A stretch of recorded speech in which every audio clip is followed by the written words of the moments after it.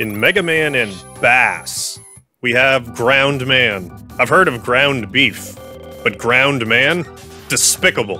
The most annoying move to dodge that Lean Ground Man does is his splitting drill attack. If it's just one big drill, it's not so hard to dodge, but if he splits it into four itty bitty drills, good luck getting out of the way. Try to stay up in his business so you don't have to worry about them splitting before you can dodge. He also likes to turn into this auger tank thing, which is very jump overable, so don't worry about it. Lastly, Ground Man will attempt to turn Mega Man into Ground Mega Man. This move is very telegraphed up on the ceiling, so when Ground Man, or rather now Ceiling Man, is close to you on your vertical plane, simply slide out of the way. You're grounded.